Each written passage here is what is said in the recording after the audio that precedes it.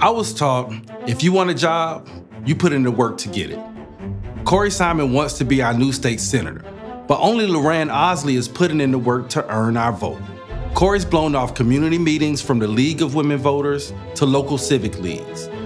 He's not even trying to earn our vote. Look, in my book, half of life is showing up.